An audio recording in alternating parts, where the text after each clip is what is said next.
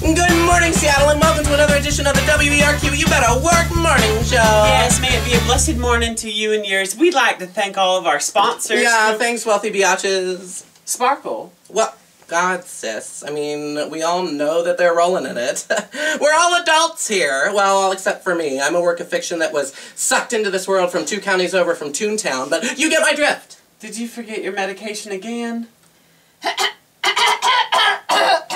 Our apologies, friends and folks. We are very lucky to introduce our brother, Tender Leigh. He just stopped by this morning without so much as a call or an email, not at all the way our mother raised us. Especially considering the fact that she abandoned us outside the Taco Bell in France with the box of kittens.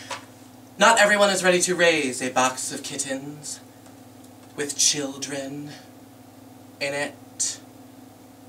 She did what she did out of love. The Lord led her to leaving us at that counter after ordering three large nachos Bel Grande. Stop it! Please just stop it!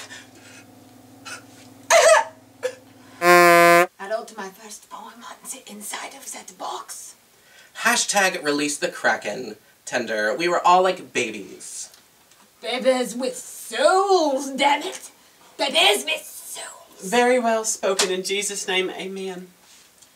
I went back to that Taco Bell to discard this rough exterior and get back into touch with the baby inside that was rolling around with the kittens.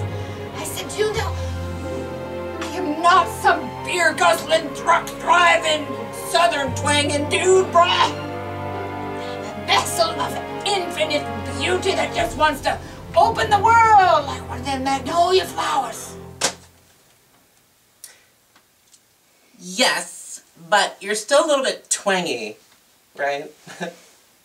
I mean, that's not just me being like the, you know, insensitive sister. It's just, there's just still a little bit of twang, you know, in there. Well, I think it's beautiful. Just follow your heart, brother.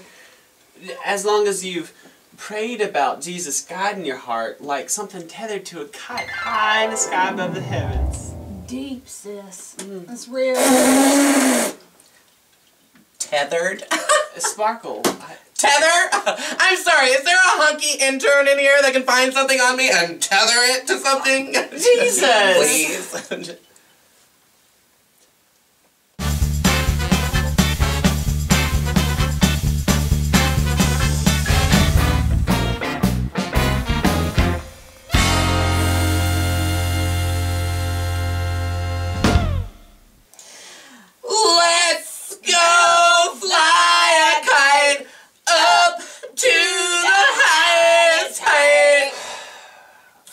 Sparkle.